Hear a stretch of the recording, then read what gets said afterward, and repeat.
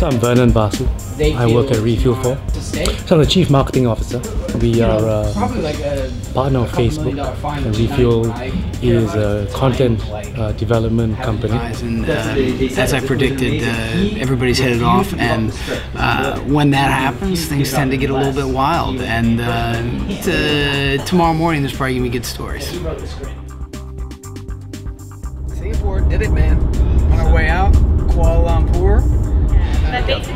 Business is a lifestyle, like Amin said. So it's holistic because to be healthy, eating diet is just one part. If you don't change your mindset, if you're not active and you're not actually doing anything about your body fitness-wise, then you're never gonna be 100% healthy.